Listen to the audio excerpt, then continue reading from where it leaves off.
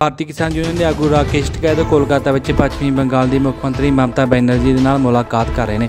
ANI ਦੀ report ਦੇ ਮੁਤਾਬਕ ਟਕੈਤ ਮਮਤਾ ਬੈਨਰਜੀ ਨਾਲ ਕਿਸਾਨੀ ਅੰਦੋਲਨ ਦੀਆਂ ਭਵਿੱਖ ਵਿੱਚ ਵਿੱਢੀਆਂ ਜਾਣ ਵਾਲੀਆਂ ਰਣਨੀਤੀਆਂ ਤੇ ਵਿਚਾਰ ਵਟਾਂਦਰਾ ਕਰਨਗੇ। ਇਸ ਤੋਂ ਇਲਾਵਾ ਰਾਕੇਸ਼ ਟਕੈਤ ਮਮਤਾ ਬੈਨਰਜੀ ਨੂੰ ਚੋਣਾਂ ਵਿੱਚ ਉਹਨਾਂ ਦੀ ਸ਼ਾਨਦਾਰ ਜਿੱਤ ਦੇ ਲਈ ਵਧਾਈ ਵੀ ਦੇਣਗੇ। ਟਕੈਤ ਨੇ ਬੰਗਾਲ ਚੋਣਾਂ ਵਿੱਚ ਮਮਤਾ ਬੈਨਰਜੀ ਲਈ ਚੋਣ ਪ੍ਰਚਾਰ ਵੀ ਕੀਤਾ ਸੀ। ਭਾਰਤੀ ਕਿਸਾਨ ਯੂਨੀਅਨ ਕੇਂਦਰ ਸਰਕਾਰ ਦੇ ਵੱਲੋਂ ਪਾਸ ਕੀਤੇ ਗਏ ਤਿੰਨ ਖੇਤੀ ਕਾਨੂੰਨਾਂ ਦੇ ਵਿਰੋਧ ਵਿੱਚ ਪਿਛਲੇ ਸਾਲ 26 ਨਵੰਬਰ ਤੋਂ ਕਿਸਾਨ ਕੌਮੀ ਰਾਜਧਾਨੀ ਦਿੱਲੀ ਦੀਆਂ ਸਰਹੱਦਾਂ ਤੇ ਅੰਦੋਲਨ ਕਰ ਰਹੇ ਨੇ। ਰਾਕੇਸ਼ ਟਕੈਤ, ਚੋਣ ਪ੍ਰਚਾਰ ਲਈ ਨੰਦੀਗ੍ਰਾਮ ਗਏ ਸਨ। ਚੋਣ ਪ੍ਰਚਾਰ ਦੇ ਦੌਰਾਨ ਟਕੈਤ ਨੇ ਸਥਾਨਕ ਲੋਕਾਂ ਨੂੰ ਟੀਐਮਸੀ ਨੂੰ ਵੋਟ ਪਾਉਣ ਦੀ ਅਪੀਲ ਕਰਨੇ ਭਾਜਪਾ ਨੂੰ ਵੋਟ ਨਾ ਪਾਉਣ ਦੀ ਅਪੀਲ ਕੀਤੀ ਸੀ। ਹਾਲਾਂਕਿ ਮਮਤਾ ਇਸ ਸੀਟ ਤੋਂ ਚੋਣ ਹਾਰ ਗਈ ਸੀ। ਰਾਕੇਸ਼ ਟਕੈਤ ਕੇਂਦਰ ਦੇ ਖੇਤੀਬਾੜੀ ਕਾਨੂੰਨ ਦੇ ਵਿਰੋਧ ਵਿੱਚ ਅੰਦੋਲਨ ਦੀ ਅਗਵਾਈ ਕਰ ਰਹੇ ਨੇ। ਅੰਦੋਲਨਕਾਰੀਆਂ ਦੀ ਮੰਗ ਹੈ ਕਿ ਤਿੰਨੇ ਖੇਤੀ ਕਾਨੂੰਨਾਂ ਨੂੰ ਵਾਪਸ ਲਿਆ ਜਾਵੇ। ਵੱਖ-ਵੱਖ ਕਿਸਾਨ ਸੰਗਠਨਾਂ ਨੇ ਦਾਅਵਾ ਕੀਤਾ ਕਿ ਕੇਂਦਰ ਸਰਕਾਰ ਵੱਡੀਆਂ ਕੰਪਨੀਆਂ ਦੇ ਲਈ ਰਾਹ ਖੋਲ ਰਹੀ ਹੈ, ਜੋ ਕਿ ਕਿਸਾਨਾਂ ਦੇ ਲਈ ਬਹੁਤ ਗਲਤ ਹੋਵੇਗਾ।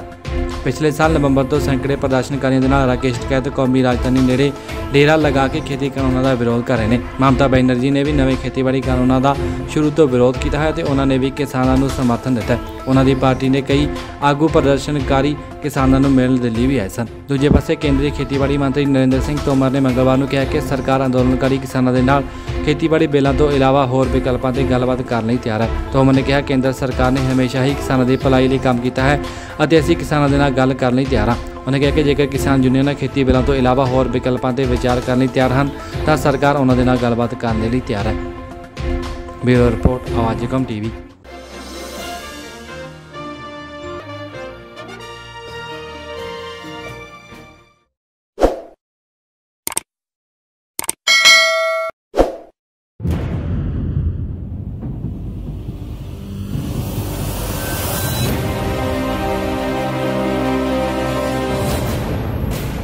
ਭਾਰਤੀ ਕਿਸਾਨ ਯੂਨੀਅਨ ਦੇ ਆਗੂ ਰਾਕੇਸ਼ ਟਕੈਦ ਕੋਲਕਾਤਾ ਵਿੱਚ ਪੱਛਮੀ ਬੰਗਾਲ ਦੀ ਮੁੱਖ ਮੰਤਰੀ ਮਮਤਾ ਬੈਨਰਜੀ ਦੇ ਨਾਲ ਮੁਲਾਕਾਤ ਕਰ ਰਹੇ ਨੇ।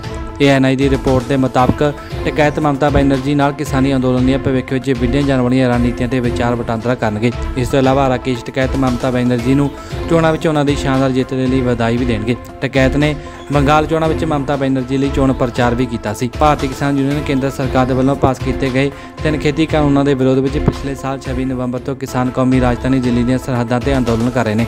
ਰਾਕੇਸ਼ ਟਕੈਤ, ਚੋਣ ਪ੍ਰਚਾਰ ਲਈ ਨੰਦੀਗ੍ਰਾਮ ਗਏ ਸਨ। ਚੋਣ ਪ੍ਰਚਾਰ ਦੇ ਦੌਰਾਨ ਟਕੈਤ ਨੇ ਸਥਾਨਕ ਲੋਕਾਂ ਨੂੰ ਟੀਐਮਸੀ ਨੂੰ ਵੋਟ ਪਾਉਣ ਦੀ ਅਪੀਲ ਕਰਨੇ ਭਾਜਪਾ ਨੂੰ ਵੋਟ ਨਾ ਪਾਉਣ ਦੀ ਅਪੀਲ ਕੀਤੀ ਸੀ। ਹਾਲਾਂਕਿ ਮਮਤਾ ਇਸ ਸੀਟ ਤੋਂ ਚੋਣ ਹਾਰ ਗਈ ਸੀ।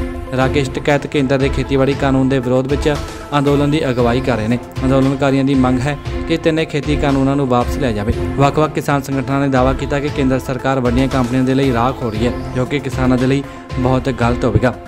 ਪਿਛਲੇ ਸਾਲ ਨਵੰਬਰ ਤੋਂ ਸੈਂਕੜੇ ਪ੍ਰਦਰਸ਼ਨਕਾਰੀਆਂ ਦੇ ਨਾਲ ਰਾਕੇਸ਼ ਟਕੈਤ ਕੌਮੀ ਰਾਜਧਾਨੀ ਨੇੜੇ ਡੇਰਾ ਲਗਾ ਕੇ ਖੇਤੀ ਕਾਨੂੰਨਾਂ ਦਾ ਵਿਰੋਧ ਕਰ ਰਹੇ ਨੇ। ਮਮਤਾ ਬੈਨਰਜੀ ਨੇ ਵੀ ਨਵੇਂ ਖੇਤੀਬਾੜੀ ਕਾਨੂੰਨਾਂ ਦਾ ਸ਼ੁਰੂ ਤੋਂ ਵਿਰੋਧ ਕੀਤਾ ਹੈ ਤੇ ਉਹਨਾਂ ਨੇ ਵੀ ਕਿਸਾਨਾਂ ਨੂੰ ਸਮਰਥਨ ਦਿੱਤਾ ਹੈ। ਉਹਨਾਂ ਦੀ ਪਾਰਟੀ ਨੇ ਕਈ ਆਗੂ ਪ੍ਰਦਰਸ਼ਨਕਾਰੀ ਕਿਸਾਨਾਂ ਨੂੰ ਮਿਲਣ ਦਿੱਲੀ ਵੀ ਆਏ ਸਨ। ਦੂਜੇ ਪਾਸੇ ਕੇਂਦਰੀ ਖੇਤੀਬਾੜੀ ਮੰਤਰੀ ਨਰਿੰਦਰ ਸਿੰਘ ਤੋਮਰ ਨੇ ਮੰਗਲਵਾਰ ਨੂੰ ਕਿਹਾ ਕਿ ਸਰਕਾਰ ਅੰਦੋਲਨਕਾਰੀ ਕਿਸਾਨਾਂ ਦੇ ਨਾਲ ਖੇਤੀਬਾੜੀ ਬਿੱਲਾਂ ਤੋਂ ਇਲਾਵਾ ਹੋਰ ਵਿਕਲਪਾਂ ਤੇ ਗੱਲਬਾਤ ਕਰਨ ਲਈ ਤਿਆਰ ਹੈ। ਤੋਮਰ ਨੇ ਕਿਹਾ, ਕੇਂਦਰ ਸਰਕਾਰ ਨੇ ਹਮੇਸ਼ਾ ਹੀ ਕਿਸਾਨਾਂ ਦੀ ਭਲਾਈ ਲਈ ਕੰਮ ਕੀਤਾ ਹੈ ਅਤੇ ਅਸੀਂ ਕਿਸਾਨਾਂ ਦੇ ਨਾਲ ਗੱਲ ਕਰਨ ਲਈ ਤਿਆਰ ਹਾਂ। ਉਹਨੇ ਕਿਹਾ ਕਿ ਜੇਕਰ ਕਿਸਾਨ ਯੂਨੀਅਨਾਂ ਖੇਤੀ ਬਿੱਲਾਂ ਤੋਂ ਇਲਾਵਾ ਹੋਰ ਵਿਕਲਪਾਂ ਤੇ ਵਿਚਾਰ ਕਰਨ ਲਈ ਤਿਆਰ ਹਨ, ਤਾਂ ਸਰਕਾਰ ਉਹਨਾਂ ਦੇ ਨਾਲ ਗੱਲਬਾਤ ਕਰਨ ਲਈ ਤਿਆਰ ਹੈ। ਬਿਊਰੋ ਰਿਪੋਰਟ, ਆਵਾਜ਼ ਕਮ ਟੀਵੀ।